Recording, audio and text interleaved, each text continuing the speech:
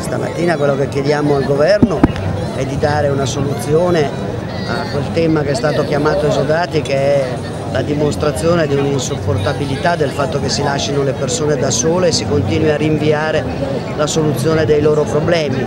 È sempre più incomprensibile anche perché come è noto si potrebbero spalmare i costi necessari su più anni ma nello stesso tempo dare tranquillità alle persone.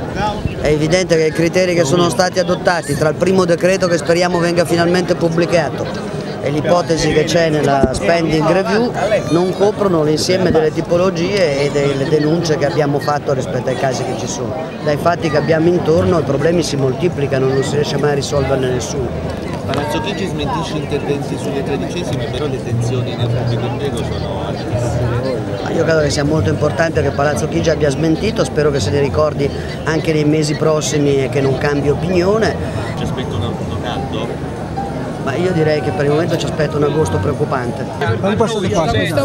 Oggi ci pensa a noi, a gridare, a dire per favore, non faccio, io, io mi sto piangendo per il dolore, guarda. Ora ne parliamo, aspetta.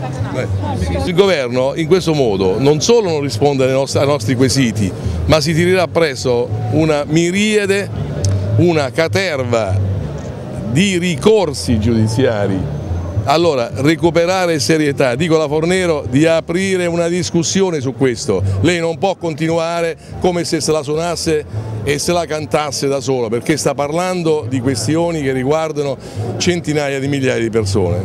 Faccio parte del gruppo ESMOL, donne esodate, mobilitate e licenziate, che si è costituito proprio perché la riforma Fornero del sistema pensionistico produce una penalizzazione di genere fortissima ai danni delle donne, in particolare delle donne che non hanno più lavoro perché lo hanno perso. Come si va in pensione comunque a 66 anni, queste donne che avrebbero dovuto aspettare uno, due, al massimo tre anni per beneficiare della pensione, ne devono aspettare sette, otto e anche nove, senza retribuzione senza pensione e non è immaginabile che possano rientrare nel mercato del lavoro. Le nostre sensazioni sono che i soldi per noi non ci saranno mai, perché intanto sono tutti tesi a difendere i soliti privilegiati, la patrimoniale non si fa perché chiaramente questo è un diktat di Berlusconi, quindi io mi dico se Monti non ha il coraggio di fare quello che ha annunciato che avrebbe fatto, cioè che avrebbe operato con equità e rigore, ma perché non ha il coraggio di dimettersi, almeno quello?